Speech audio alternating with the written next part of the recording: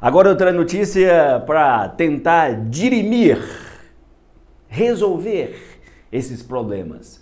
A Polícia Civil inaugurou recentemente a Delegacia Especializada de Apoio às Mulheres em Itajubá. Aqui em Pouso Alegre já existe uma sede da delegacia especializada, especializada em atendimento à mulher e agora também em Itajubá existe este tipo de delegacia para atender as mulheres em situação de vulnerabilidade, aquelas mulheres que querem fazer alguma queixa, reclamar de agressões sofridas, perseguição, às vezes não quer ir naquele mesmo local onde muita gente está indo ao mesmo tempo. Então tem um atendimento mais especializado, mais calmo, onde as servidoras também da delegacia podem trabalhar, dar uma atenção maior para essas vítimas de qualquer tipo de agressão.